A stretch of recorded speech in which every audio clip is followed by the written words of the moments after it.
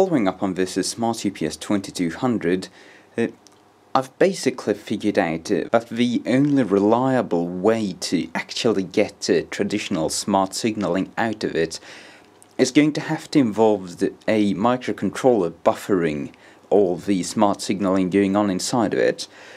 Because since we have the communications processor polling the main processor all the time, breaking communication between those two is going is likely to lead to some issues.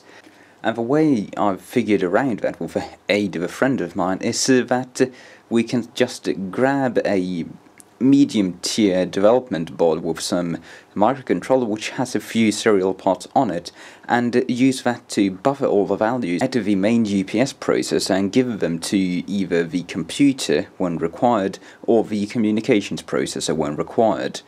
But uh, that requires uh, for the development board to arrive and it requires for quite a lot of code to be written. So in the meantime I'm looking for ways to just use this unit with apcupsd and the front panel at least in some limited fashion. And what I've done right now is just a, a bit of a proof of concept. I've disconnected the communications processor entirely and I've just connected the main UPS processor straight onto the MAX232 level converter which is already present on the main board of the UPS. And uh, if I just hook, into, hook it into my lab computer, I can operate the UPS perfectly, even from a completely turned off state.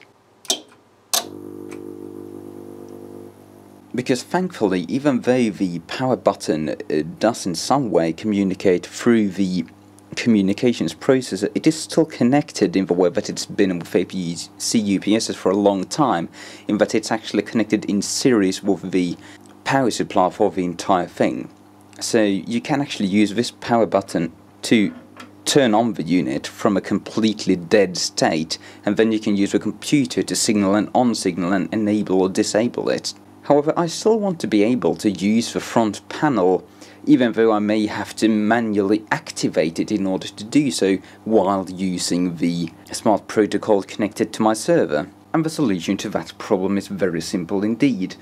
I'm just going to add a switch which will connect the receiver line of the main processor to either the internal comms processor or to the MAX232 which will just enable me to quickly at the front panel switch between manual front panel mode and remote mode being controlled by a computer. An added benefit to this is that it will essentially lock out the front panel while the UPS is just sitting so no one who doesn't know about the secret switch can go and fiddle with it.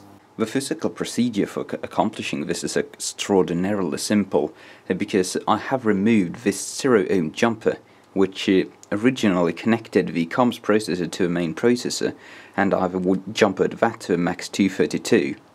So all Need to do is use a single pole switch to determine whether or not uh, this pin gets connected to either here, as if the original jumper was installed, or to there, as is the case right now with the jumper wire.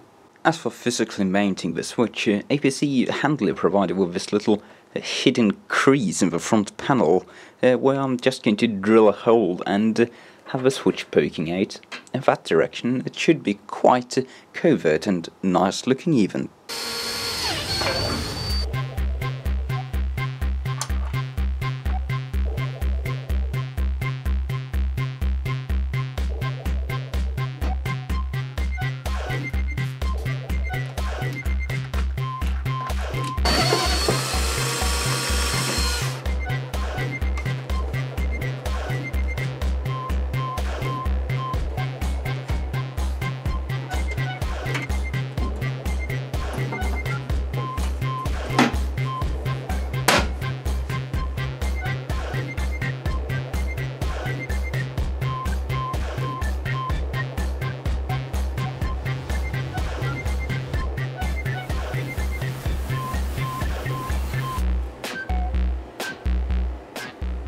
And there we have it, a switch tune. Let's just choose which feature we like the least.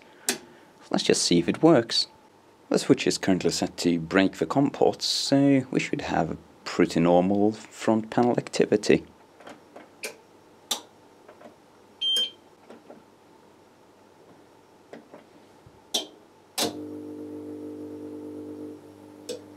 That certainly looks pretty okay.